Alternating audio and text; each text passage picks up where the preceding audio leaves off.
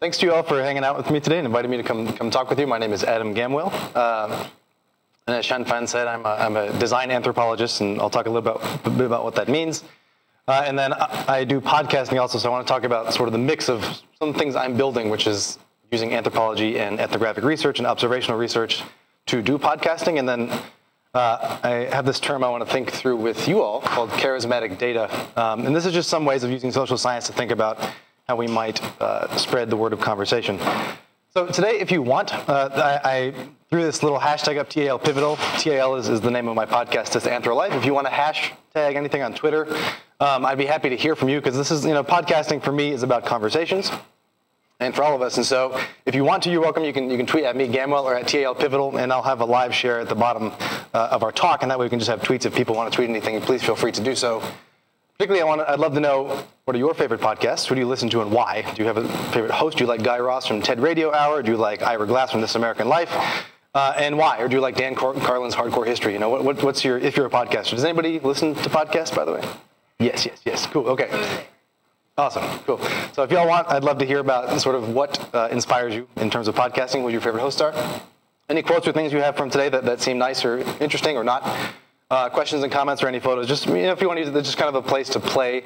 Um, I learned about this thing called Everwall yesterday, which is like these, these tweet walls you can buy, which sounds weird to me, but you can uh, pay for them, and then when you're at an event, people can tweet to this either a hashtag or an at name, and then a bunch of cool stuff shows up, and so it's a nice interactive space after after talks usually. Um, anyway, so if you want, hashtag TAL Pivotal is available, which I made yesterday. So. Um, so I'll talk a little bit about me because my story is integrated into what I want to talk about today, uh, as well as you know help sort of give a framework of what we're looking at. Uh, so I am a design anthropologist, and sort of what that means, we'll talk about what both design and anthropology have to do with each other and what they don't. Uh, but so I look at doing social research on cultural systems, uh, and I do systems thinking usually for good. So the idea is to do research on people for good, for impacts, to sort of help uh, with the effectiveness of programs and ideas, as well as to facilitate communication between different groups, usually multilateral groups. I'm also a podcaster and producer for This Anthro Life. This is my main project, but I also work on a number of other smaller ones. We're developing a podcast network, actually, of a bunch of different uh, socially minded podcasts that's, that will be coming out eventually. Uh, and so, and also I can work as a social strategist, consultant, and educator. This is my, my main work is doing public education. I love doing this kind of work, and uh, I plan to build a lot more sort of public educational initiatives, starting with podcasting and then using other tools to sort of leverage social conversation. We'll talk about what that means uh, so just to give a, a, quick view of where I'm coming from, my path to design thinking and how I use it in DA or design anthropology. Uh, so I'm completing my PhD in anthropology right now at Brandeis University, as Sean said. Uh, now this may seem a little weird, but uh, so I do research on quinoa agrobiodiversity conservation, uh, as well as markets in southern Peru. Does anybody here eat quinoa? Does anybody here not eat quinoa? I guess it's better. Or you will if it's on the table, right? Um, but so I was I was in Peru from for 18 months, from March 2015 to August 2016, and so there. Uh, normally, anthropological research, if you're going through the academy, is this idea that you're supposed to do observational research but not really have an impact, which to me is kind of impossible because you're actually there working with people. But my research was framed around working with an NGO called Biodiversity International that does conservation programming and research for development conservation. And so I was struggling with how to do this kind of research while having an impact, but also doing what we call academic research. So design thinking and design anthropology gave me this sort of toolkit to think through it because it's this mix of observational research and ethnographic long-term study with people alongside interventionist policies and what we call speculative intervention.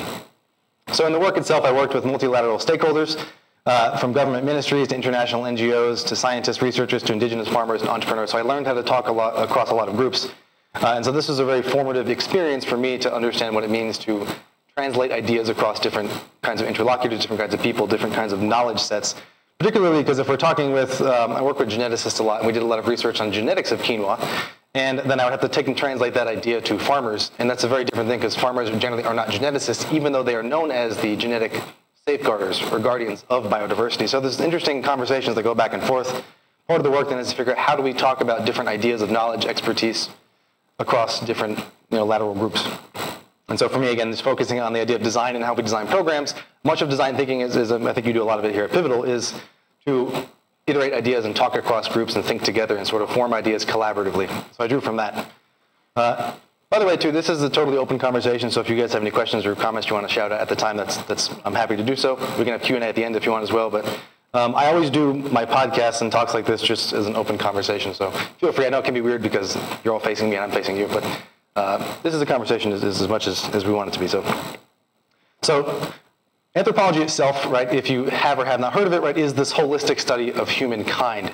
And we generally put it into four subfields cultural or social, and that's the kind of anthropologist I am. I study cultural systems or social systems of people.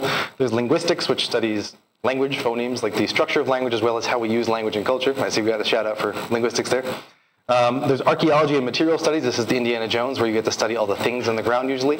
Uh, and then there's biological and physical, which is things like uh, anthropometry and how people sit in chairs and how we design things and skeletal structure, our teeth structure, our bones, etc. What's kind of fun for me is that digital technologies like podcasting use all of these. And so it helps me think across all four subfields and how we might use them to, to work together. As I said, anthropology itself as an academic discipline can be very academic in that it tries to sort of do research but not have an impact. As a design researcher, design anthropologist, I then move these into thinking about social technologies is how I like to think about these. And so some of the tools that anthropology helps us use is putting context before events. And this is one of the things that we try to do with our podcast at TAL is when if, there, if, there's a bombing in Syria, which there was, was last week, if there's, if there's different social events like this, rather than saying we're going to react to a certain event, saying this is good or bad, what we can do is say, what is the context around which this event took place? Why did it even take place? And this is something that American politics is terrible at doing, which we try to do and try to put conversation back into things like that. Uh, and so anthropology is particularly good at that because it's known as taking a holistic view. It takes all these different pieces into perspective as well as tries to put them in historical and social contexts. Um, another good technology that we can use is differentiating attribute or group or cultural data types. And so these are two types of data that we collect as anthropologists. Attribute or individual data is sort of how each of you are dressed right now, right?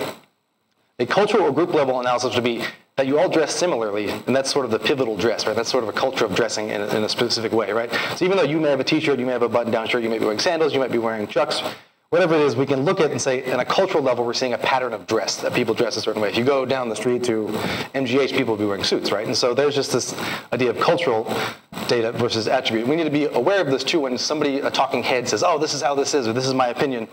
Uh, we can realize, is, is they, are they speaking as a group or are they speaking as an individual? And this helps us differentiate where ideas and opinions come from. Uh, another piece is that value making, how we evaluate things, why things matter to us, right, is about having communities of meaningful difference. And so when we have groups, we can choose who we affiliate with. Um, you know, let's say friends or the family that you can choose, right? And so with this, we talk about this is how we show things that matter to us and what, what values do we have. We learn to say we're different from you for these reasons, not in a negative way, but just saying this is what defines us and this defines a different group.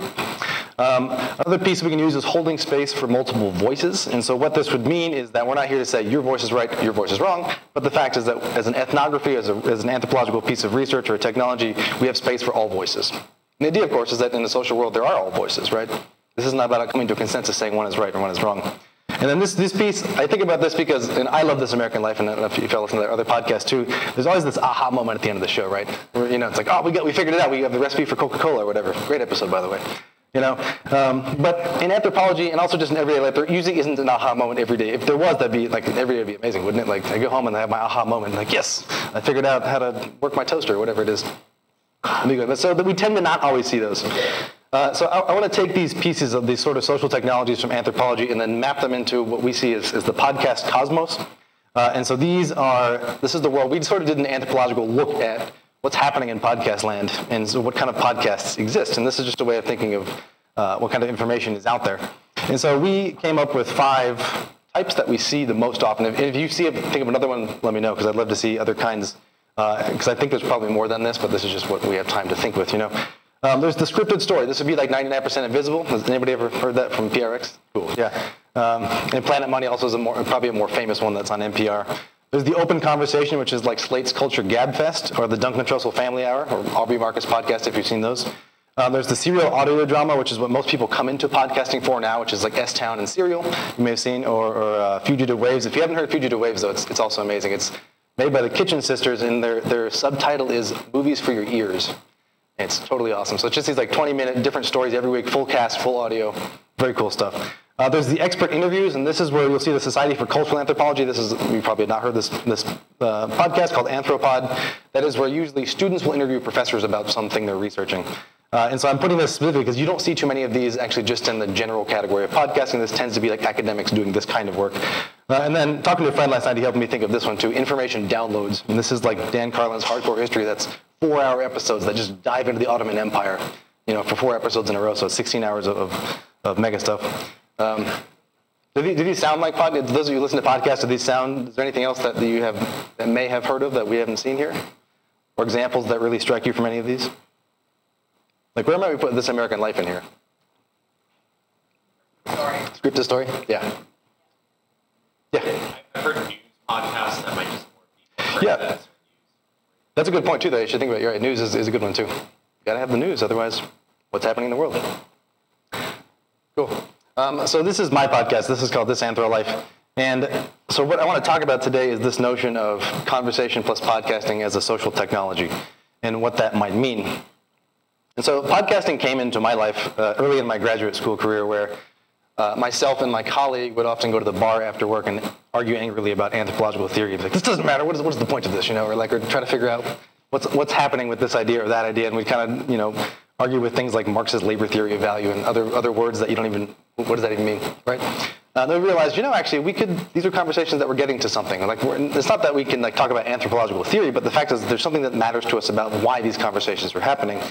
And what if we reformatted them to be publicly accessible? Because one of our challenges, of course, if you do graduate school or any sort of advanced study, is that you may find yourself not being able to share information with other people because it's super specialized or super jargony, right?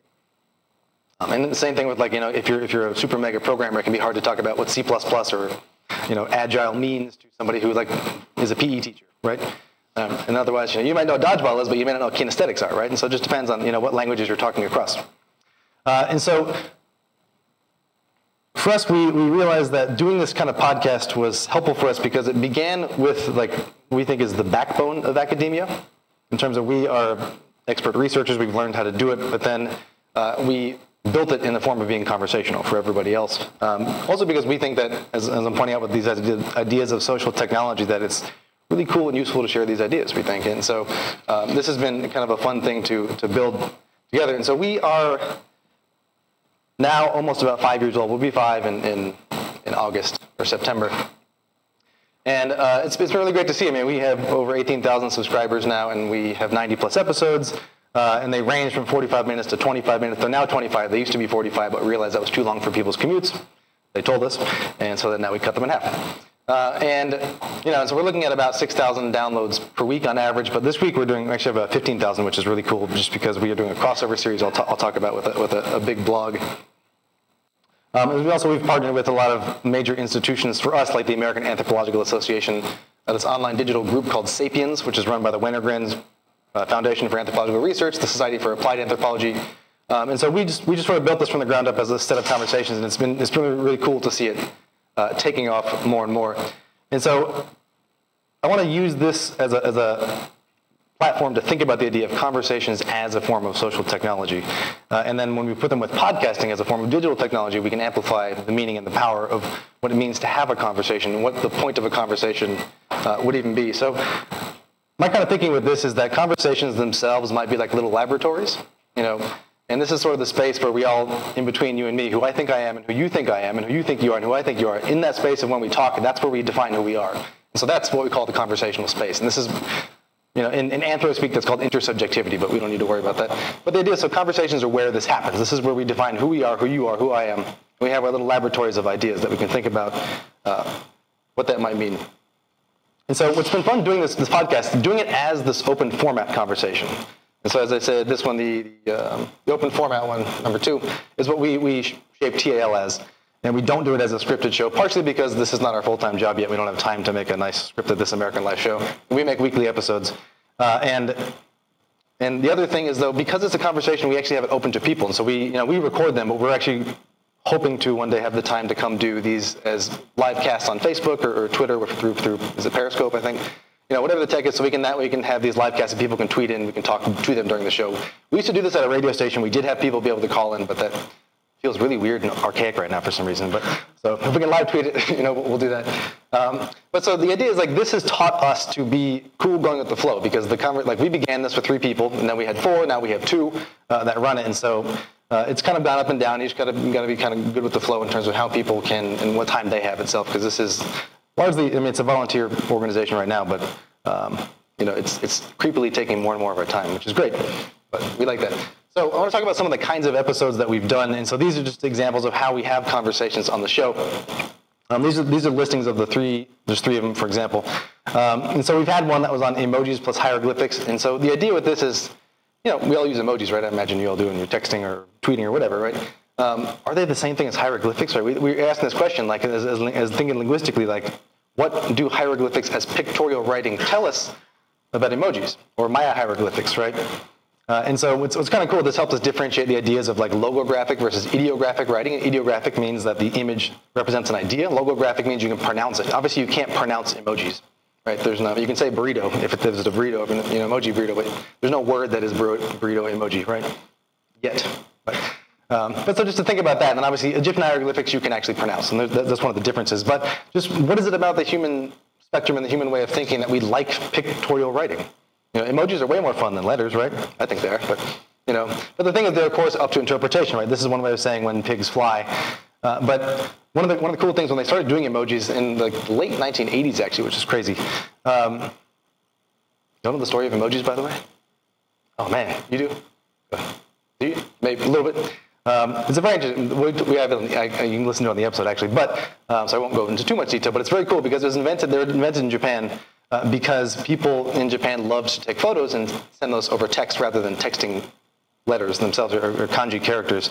And at the time, that like was like mega bandwidth problem because they were sending pictures over like you know 28-bit K dial-up internet. You know, so like it just destroyed the bandwidth, and so they they like basically Japanese telecom paid this guy to invent little symbols they could send then send instead of pictures themselves. And so it was really just a data problem, which is interesting. And then from that, it just sprung into this, this global phenomenon of different ways of communicating. Um, but anyway, so that's a kind of a fun story to dig into. We've also done uh, guest episodes, and so the, the, emoji one is just me and my, my colleague Ryan Collins. We, we host the episodes, but then we've had increasingly more high-profile guests, which has been fun, uh, particularly this year and, and, the end of last year. And so on actually the day after the election, we had Hannah Brencher, who's she's the creator of moreloveletters.com, which is a wonderful, wonderful idea about writing handwritten, handwritten love letters to people and sharing them, especially kind of programs where you can share love letters with anybody. Like you can go sign up and then they'll say we need to send love letters and we'll send like 50 of them. People can write them and send them to a certain person if they need some help, extra love, if they're in the hospital, whatever. It's a great idea, right? Because she was, she said, you know, she used to suffer from depression and so she would actually write love letters to strangers and put them in the New York Library in books just to be found elsewhere. And just say, hey, babe, glad to see, glad you're here today. Love, love me. And that's it. And so she would just like anonymously drop these letters. So it's been this incredible phenomenon to see. So we actually had this on the day after the election. Uh, and, and so it's a very interesting day because, you know, if you're in Boston, depending on your politics, it may have been a good or a bad day. Um, but we did this as, as, a reminder, again, in terms of context of why we need kindness, why kindness matters to us, like especially when days may seem dark or dangerous. And so we can do that. Another piece we've had this year, we had Hamilton Morris, who's, who's a vice correspondent who does Hamilton's Pharmacopoeia. Has anybody seen that show? You know what it is? Okay, super interesting. It's about drugs. Uh, and it's about what it means to take drugs. And, and so, in the science and the stories behind him, he's a chemist. And so we did an episode with him that like asks questions about what it means to call something medicine or call something a drug, call something a psychedelic. And so we dug into these issues of, you know, if you're talking about ayahuasca, which is, which is a, a sacred plant to a lot of Peruvians uh, and Amazonian people, it's, it's, it's, an, it's a hallucinogenic, but it can, uh, you know, it has incredibly therapeutic properties. And so it's treated as a medicine amongst them, but there's a big influx of drug tourists, of people seeking psychedelic experiences. They want to trip out. Uh, so they go to Peru just for that, you know, so it's Machu Picchu plus that now, right? Um, and so we talked about what does it mean between those two things? Because is it is it still or is it not a medicine somehow, uh, or is it a drug? And so what does it mean to think through these pieces together uh, as a conversation, saying that actually it's, it's all these things, and uh, that can be a bit of a challenge, but it is part of this conversation. And so this is, was sort of our piece of thinking what it would mean to have these kinds of conversations. And our hope is that by, by bringing in these general speakers of anything and everything human, uh, we can sort of strengthen this idea of conversational technology, right? That it can adapt as, as humans adapt, right? And so the idea is, how do we have these kinds of conversations in a ways with what you want to say increasingly, you know, some of that could be very controversial, some of that might not be. You know, and so just thinking, how do we talk across all these things uh, together? And so we come to this idea that, that I, I that podcasting has done to me is that open format podcasting in this case, right? That we don't script our shows ahead of time. We write notes down like I have. I have some notes on my iPad, but I'm not reading them, and they just sort of tell me where I'm supposed to be at. Uh, and so for us, open format podcasting like this is an invitation to conversation about what matters, right? And this is why we have these kinds of conversations. We may bring in Hamilton Morris, we may bring in one of y'all if you want to talk about working at Pivotal or what it means to be a programmer or project designer or whatever that is, or mean to work in a group. But if we do that, the idea is to then talk about what matters to you. And like, and so we get into this, and conversation is about doing that. And uh, I think that this has been one of the, the great things that we've seen um, in doing this, this kind of podcast. So I want to share two quotes. I'm going to look through a couple of quotes we've seen from the show. So we are doing a, a, um, a crossover series right now with this anthropology blog called Savage Minds. And they are about 15 years old, which is pretty impressive for a blog to be 15 years old and still existing.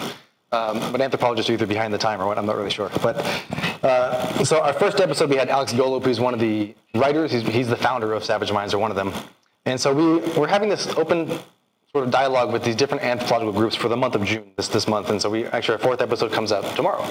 Uh, and it's just talking with anthropologists themselves about why anthropology matters. So it's kind of a specialized language. But the thing is, what's been really cool about these conversations is that they have brought out the idea of conversation.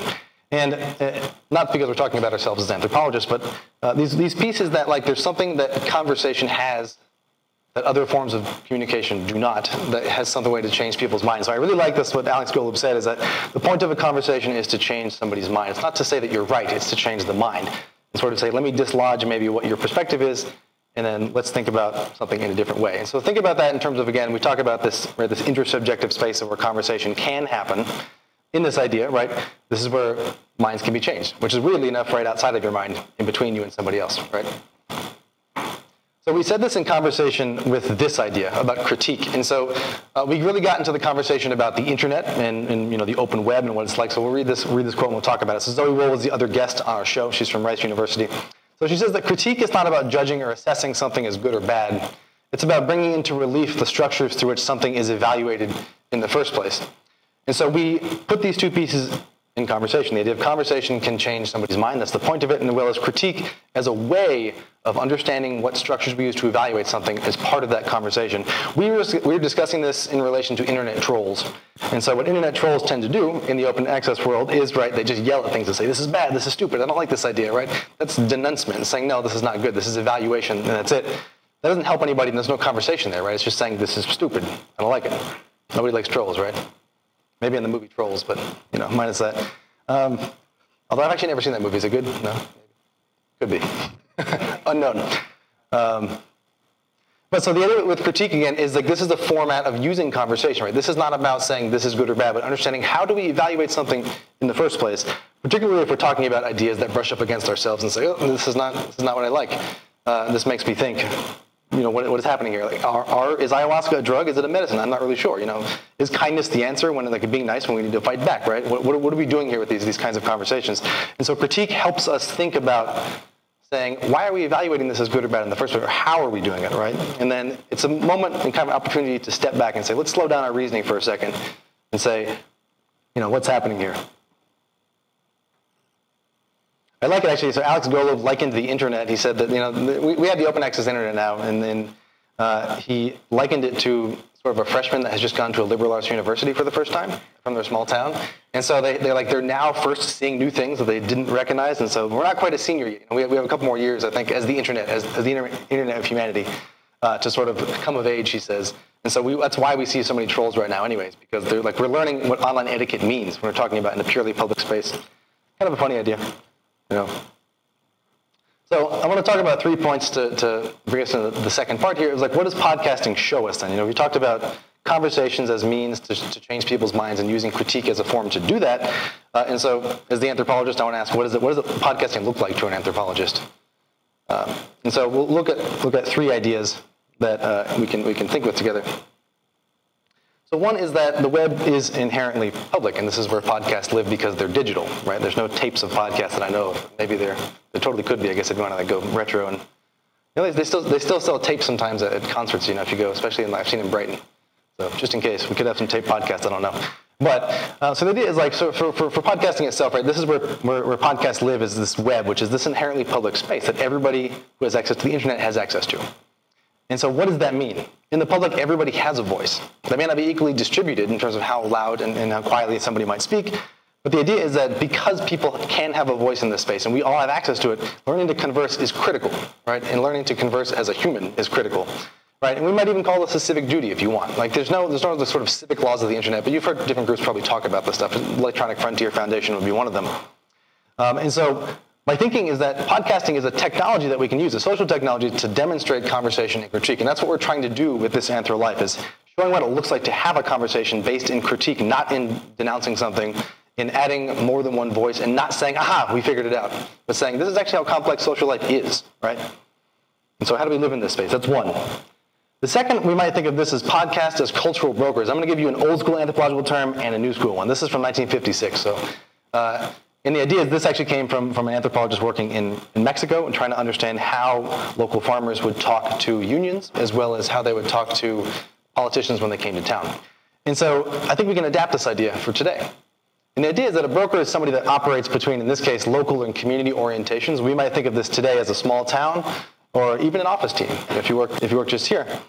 And so people that broker between local and community orientations as well as these international or mobile oriented groups. And so you can think about this in terms of how groups move in and out of each other. And so the study of cultural broker is not to look at how a group itself stays together. We all like marshmallows, therefore we're friends. But more looking at these ideas of the external bonds that put groups together. And so you might see people that may live in we'll say small town Lakefield, Massachusetts, or they might live in Houston, Texas, they might live in LA. They may all listen to the same podcast, S Town, for example, right? And so because of that, what is the kind of glue that holds all those different peoples who come from different places interest in this kind of thing? So we might think of podcasting and then podcasters themselves as these brokers that are learning to talk between these different groups. So TAL itself, as, as educators, like we are constantly aware of and asking, solicit feedback from people if what we're saying is okay. If you know people, not that you, if you agree with us, but more so, are we talking in a tone that is understandable, that is open to other voices, other ideas, etc. And so this piece, I mean, I like this idea too because it's just sort of what do we as as podcasters, who, who can we speak to, or anybody. And the thing is, all of us can be cultural brokers. This idea may not seem weird now because this was in 1956 when it came out, but think about the mechanism of this, right? How or what different groups do you talk to, and how do you talk across them? Do you have a ping pong friend team? Do you have an ultimate frisbee team? You have your workmates. You have your partner. You have your family. How do you talk across those different groups, right? Uh, and so maybe it's a kind of glue. I don't know, digital glue. That sounds kind of weird, but why not?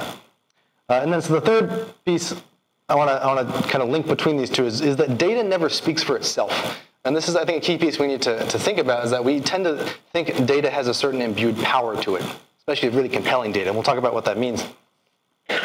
And so this is an idea I'm adapting from Jessica O'Reilly, who's an anthropologist uh, who did work on the Antarctic. And so we'll talk about her book in a second. But she posits the idea that data always need to have a spokesperson, right? It doesn't matter what, how many points of data you have, doesn't matter what your data is doing, it can't speak for itself. It doesn't mean anything besides it's some numbers on an Excel sheet, right? So it needs spokespeople, right? And the effectiveness of this data itself has to do as much with who is presenting the data, right? And how they present it as well as what it says. And so she makes this really interesting point talking about the Antarctic, and so she's, she looks at um, what we call charismatic data. And so this is a way of how data may affect us a certain way. One of the examples that she speaks about is that, uh, for example, the, in 2006 there was a big called B-15, part of the ice shelf, like calved off. It fell off of Antarctica and floated away. And so this was used as a what we call a charismatic event because it's huge. It makes you really think about it. Uh, and then it was linked to watching like these photographs, these really beautiful photographs of this iceberg floating away, which is terrifying on its own level, linked to concerns about global climate change.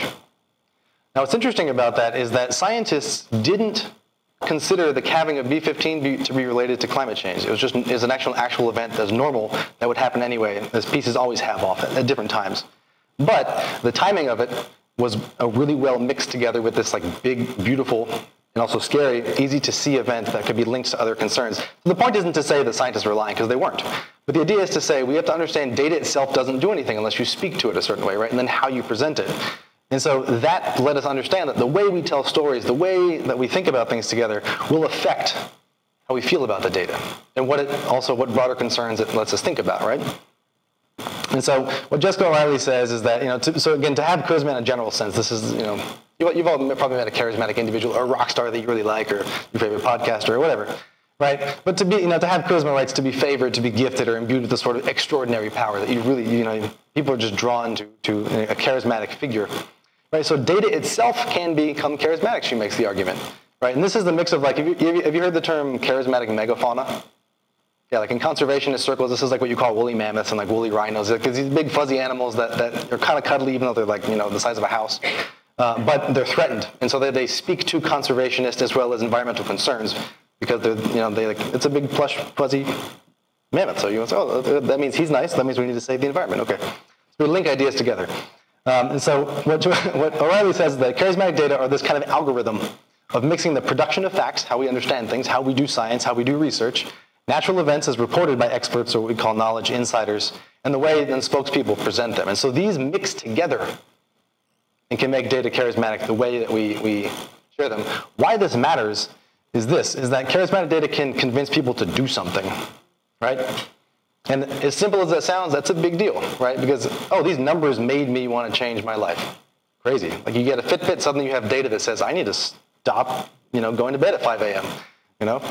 Um, and so the idea is like how people present some of these kinds of data, right? Some of the information to the public, in effect, creates this idea of charismatic data. Um, there's a really interesting idea. So one of the examples she uses in the book that, that really struck me was that, so J. Robert Oppenheimer, who invented the hydrogen bomb, uh, he at first, like when he realized the destructive potential of it, he said, no, I'm not, I'm not, I'm not making this, when he realized how destructive it would be. But then there was this, this sort of design idea that came out called the Teller Ulam. Was this way of how to make the bomb that like fixed the trigger from going off on, because the way he designed it, the trigger could go off on accident and that'd be really bad for everybody nearby. But so the way they set it up was that they, they made this like really beautiful trigger that he called technologically sweet. And it was such a nice design, it changed his mind about how to make the bomb, and so then he made it. Um, of course, then he famously goes on to say that I am destroyer of worlds. Whoops. But you know, but the idea is like charismatic data can change our minds and say, "Wow, I really should do something." As crazy as we would say building the hydrogen bomb because the schematic was nice, right? So this is a much more innocuous idea of TED, right? TED is premised on charismatic data, right? Every single presentation, like you have the aha moment. You've got this like this white nice speaker of like, "I learned how to save the world. Here's how you can do it too." You know, and you always have this moment of saying, we, we did it, you know. If you think, if, if information has a surprise in it, that's generally an example of where someone's using charismatic data. You know? And so again, think about This American Life too. Any kind of podcast that has that aha moment is based, is doing this thing too, right? So the question is just for us to think about, like, why, how does and when does data make you change your mind? You know, and especially again, what are the presentations that, that, you know, that we're doing it? So another piece, this episode, this is what's uh, coming out tomorrow.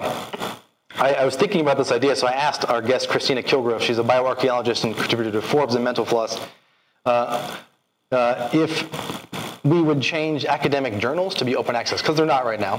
And I mean, some of them are, but generally they're not. And like most science research is behind a paywall, you have to be part of a university, um, or a business has to pay a huge amount upfront to be able to do it. And so, as, as I was curious, you know, would, would, it, would it, in your view, you know, because since you work for Forbes and Mental Floss, would changing to open access change people's access to social science knowledge? She's like, nope, not at all. You know, I don't think so. Open accessible data is much more important than open access journals. And so she had this, this interesting idea too that, that I'm just I'm thinking through that. I'd love, I'd love to know your thoughts too. That it has to do with how the data is presented. Again, this is what she's getting at. What do you do with the data when it's open? You know, and so it, again, is it neutral? You know, data sitting out there seems like it's neutral, right? But of course, there's funding and research behind how the data came out in the first place, which is okay. Just being aware of that context, and then also, if it's open, what do people do with it at that point? Uh, so this is the piece that helped me realize that, again, this has to do with writing and interpretation too. Again, if you get a journal article, if you read a magazine or whatever, by the time we get the data to ourselves, it is, of course, interpreted, written up, hopefully in a pretty way. You know, Nat Geo just had a really awesome article that came out about, uh, they just took photographs of under the Antarctica. And it's amazingly awesome. I recommend checking it out. Like beautiful, beautiful photographs. 28 species of octopus down there. Who knew? Know, they're all octopotting down there, I suppose. Um, but so just to recap, this is where we made it to the end. Um, so again, I'd like to think with y'all and take the idea of like podcasting as a sort of charismatic social technology. And so four pieces that we've talked about today is looking at using the anthropological toolkit of conversation and critique together to help change minds and do it in a way that says, let's look at structures, how we evaluate rather than saying this is good or bad. Operating in a digital public sphere, what does that mean? Everybody can have a voice. How do we give those spaces? Third, can we leverage the power of social brokers or cultural brokers, right? That they can talk across the group. How do we look and understand who is talking across groups and how are they doing it? Right? Understand what connects people. And finally, then harnessing this power, this exceptionalism, if you will, of charismatic data to help move people to act, to help change their minds, and to see the world anew. And with that, I thank you. Um, yes. Yes. I'm really interested in the way you're describing. First of all, I have a podcast recommendation for you. Yes. Why would I not? Of course. The most recent episode of Planet Money is yeah. specifically about how people on data. It's like oh, cool! I haven't, I seen. The most recent episode about of Planet Money, which I didn't finish, but I've listened to 20 minutes of or so. Like I'm two thirds of the way through, is about how people change their mind around uh, data. But um, I kind of um, I'm a little bit stuck. I want to ask you more about the way you think about podcasts as a toolkit for conversation and critique, and even more so as like um, this social broker, Yes. cultural brokers in a way. Um, because the other ways you're kind of describing it, while it sounds like you use the tool of conversation in, in your podcasts, it's you're also kind of what what I'm hearing from you is potentially not just conversation, but actually like a performative yeah. activism to a certain degree. Yeah. That like the way you think about using your data and the way you're thinking about using your your conversations with people is not actually about the conversation as much as it is about this like performative experience. And Yeah. so I'm curious if like why a couple things like one where do you see performance as part of this uh, charismatic social technology? Sure. Uh, and and maybe like how how does conversation kind of fit into like that that tension between actual conversation and, and performative Yeah. conversation? That's a great question. Um, yeah, I, I think that that's really wonderful to think with. And yeah, obviously, so yeah, when you talk about charisma, charisma has to be performed, right? Uh, and so it's it's not like you may be imbued with it, but if you, if you like show up one time and give a great speech, everyone's like, "Wow, you're great," and then you don't do it again, then it's it's over. You know, it has to be.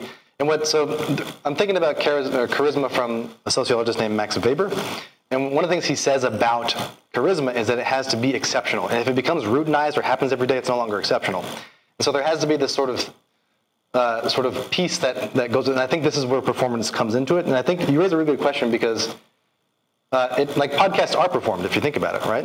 You know, I mean, and also, you know, again, if you think of, there's another uh, social theorist called Erving Goffman that talks about front stage and backstage acting, and not, theor- not in theater, but like us. Like who we are right now, we're having a front stage conversation, right? We're talking not, not because I'm on stage, but because we have a certain self we bring out to the public, and then when I go back home, I maybe like slump in my chair and then eat my Cheetos or something, you know? and, and seem like a different person. So there is how and where we choose to act, right? And so podcasting to me is nice because it makes you perform, as it were, right? Because I mean, nobody's going to listen to a podcast that's like, this is boring, you know, uh, unless you want to go to sleep, which actually is, there is one called, there's one called Sleep With Me that the guy has a really, have you heard it? It's like, it makes you go to sleep because he has a really, really soft voice. He talks about, he reads soup labels and, you know, like, You know, that's a performance too, though, right?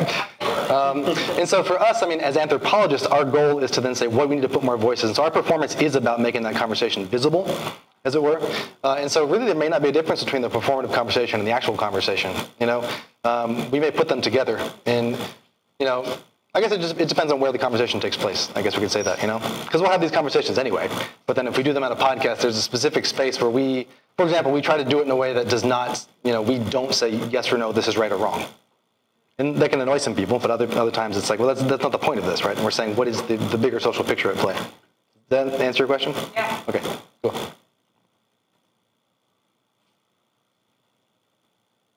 Yeah, I, I wanted to kind of ask you about that that last piece around um, around the aha moment, Uh-huh. charismatic data, and about not taking a stand on right or wrong. Yeah. Um, so I, I, I totally understand where you're getting at, where like life doesn't have aha moments. Uh, like we don't live in a sitcom where everything gets Yeah. neatly wrapped up in a, after half an hour. However, I feel like uh, when you were talking about charismatic data, you, you came back to the, the notion of aha moment, and whereas like in when you're trying to be charismatic, you're trying to get a point across. Indeed. Indeed. Um, and so I'd like to ask you to talk more about that, about how do you change people's minds um, without necessarily trying to get them to believe that you are right. Yeah, that's a great question. I think part of it, so the aha moment to me is manufactured, and this is this is the difference. That if we're having a conversation and you say this thing, I'm like, oh, that's a great, but I never thought about that. There's no aha moment that we didn't, we, we didn't manufacture that is kind of the idea. And so if it's an open format conversation, open conversation, then my hope would be like there may not. I guess the point is there might be an aha moment, but we don't manufacture it ahead of time. Right? We don't script it out. But I agree with you because if you want to change somebody's mind or even engage somebody at all, there has to be some sort of oh, well, that's that's cool. I never thought about that. You know. Um, and so it is. There is a trick in terms of performance versus you know saying yay or nay to that.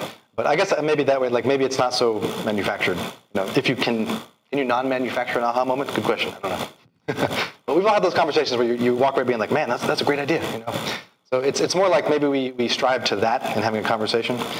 Um, the trick too, I mean, anthropology, it feels kind of like we're cheating sometimes because like our, our job is to say, actually, let's bring in this example from Indonesia and this example from Thailand to think about how these sort of martial art practices work. And then it's like, oh, wow, wait, you mean in Indonesia, this chicken stands for the man's masculinity? That's weird. You know, and so part of, part of our storytelling capacity is just collecting stories from around the world. So they, on their own level, have sort of an aha thing just because they're different, I guess. But we hope not to manufacture those, I suppose, if that makes sense. Yeah, does that, does that make sense? Or cool. Happy to dive in more if, if you like. Any other questions?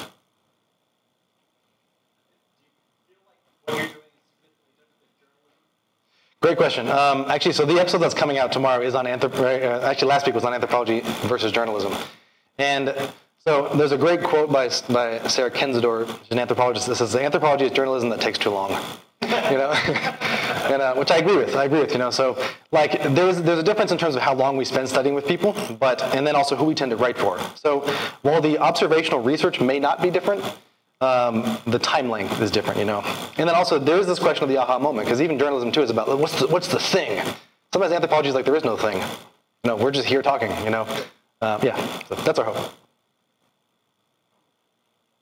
How did you get over the hump of having an interactive format podcast? Great question. Well, because our friends and our, our, parents probably listen first.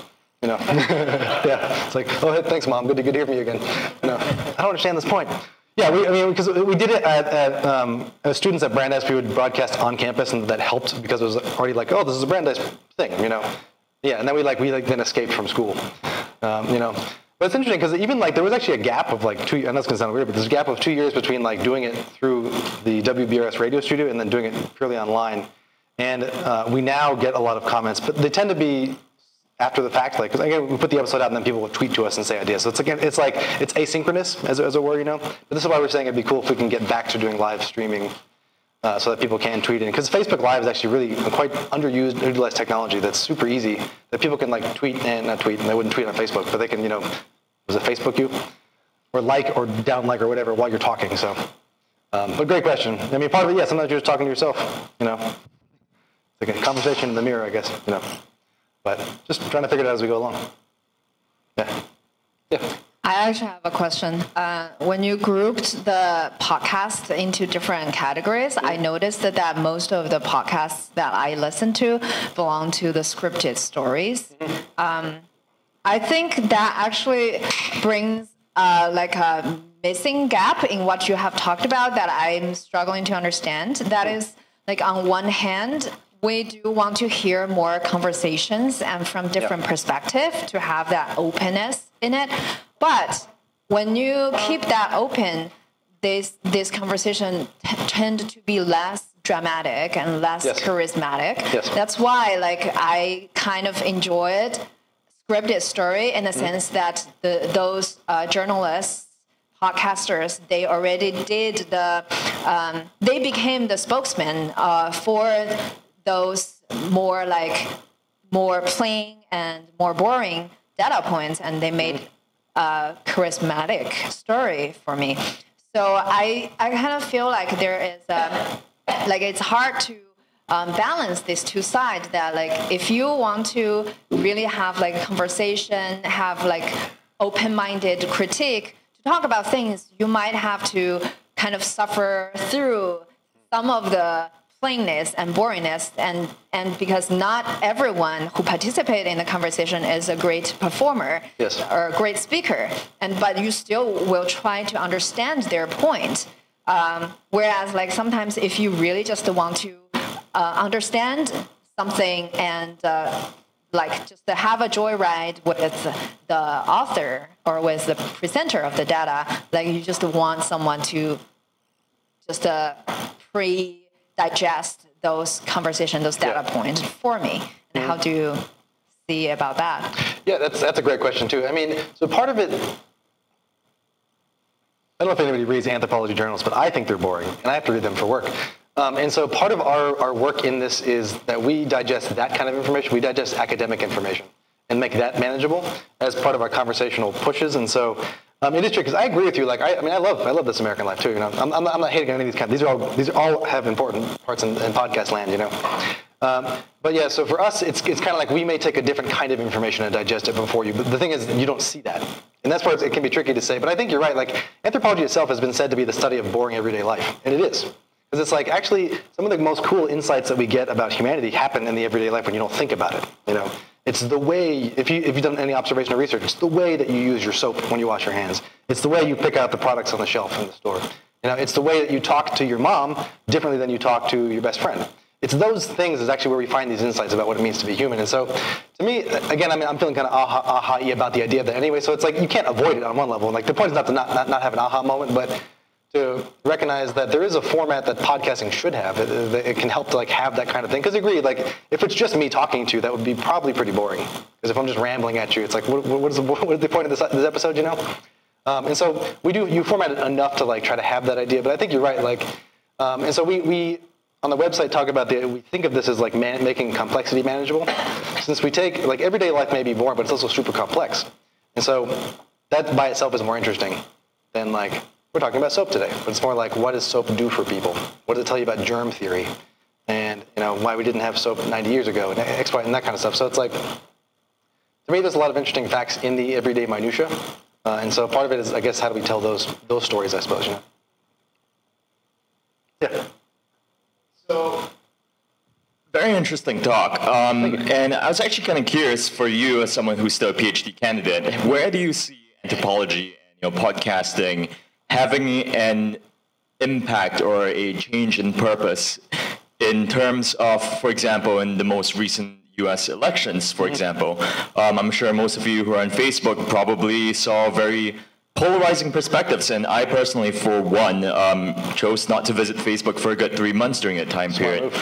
And, you know, like, I, I, work as a data scientist and I see articles posted where, you know, I'm sure you're also familiar with spurious correlations. Yeah. And I've got one stat here, you know, total revenue generated by arcades has a 98.5% correlation with computer science doctorates awarded in the United States, right? and we all have that one friend who's going to say, well, you know, revenue generated by arcades means that more people is going to arcades.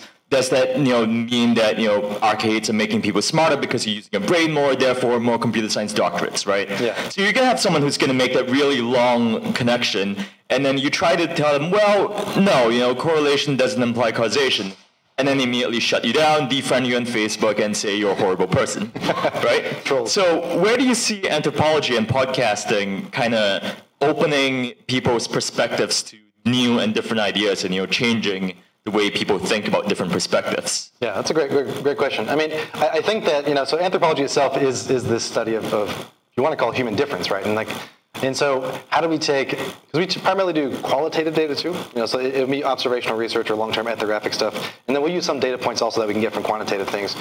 And uh, to me, I mean, podcasting is a sort of just a fun way to do it because you can't do it in a way that's like hyper academic, right? Um, and so part of it too, like actually that'd be a great episode itself, is like causation does not equal correlation or vice versa, you know? So it's like, what do we do about those two things? Uh, and uh, particularly if like in the case of barcades too, like just understanding how groups make decisions, I guess we could say. For example, like I was reading yesterday on, on LinkedIn that there was uh, a company that is starting to use algorithms instead of resumes to hire people. That's kind of terrifying, right? But also kind of like, oh, that makes a lot of sense. You know, why not? This person will be a better match than that person. But then you lose something about the human in there. And so, like um, Yuval Harari, who is a, is a really interesting historian. He wrote, he wrote the book called Sapiens that came out last year, and the new one called Homo Deus, which I just finished. Awesome book. Talks a lot about what he calls the religion of dataism, and that how like everything is algorithm in this idea, and that everything is pattern and data dataable. Everything should be part of the data cloud, which is the new god in, in this perspective. You know, uh, and that's kind of terrifying on one level because he's like, are we going to make ourselves irrelevant? But the anthropological side is like, we can't. You know, I mean, Terminator might happen, or The Matrix maybe, but um, or some people argue that we're already in the simulation. If we are, sorry, we're screwed. But um, you know, I, I, think that by by maintaining a focus on the human side of things itself, like we can then say, okay, where does this data come from, right? And this is again the charismatic part. Because if somebody says, ah, well, this barcade obviously means that people are smart. It's like, well, let's look where's that data coming from, right? And so it's not so much that the fact is. This is the crazy thing. This is going to sound weird. The facts are unstable right? As much as it's not like called fake news versus like a real news or something, but the idea is like facts themselves are social facts, if, if you will, right? And they have to be said and be made true by somebody who can interpret them, right? Uh, and so, to me, as anthropologists, we can just say, well, is this true everywhere? You know, and this is one of the things that Bruno Latour, an anthropologist, helped me realize because I do science and technology studies, and one of the things that he said was that uh, one of the questions just to ask yourself is science the same everywhere? And it isn't, which sounds crazy to us because the empirical method of how we observe and we do hypothesis testing, like that might be the same, but what we find is always different. And so because of that, we have to understand that how we interpret is always part of that the thing. So this is the thing, like data is never, data is never neutral, right? And so part of us, I guess, hope we can just have that conversation. As a podcaster, I mean, like, I don't know, how, it depends how good we are at marketing, I guess, you know, because there is this piece too. Like, can we get the message out there is the question. Um, the positive thing is it seems people respond to it, you know. Um, but know, I'm, I'm happy. I'm happy to think further about that too. Yeah. Does that answer your question? Yeah. Cool. All right, we're a little bit running out of time. Cool. Uh, thank you very much, Adam, for being here, and thanks everyone in the audience. Thank you.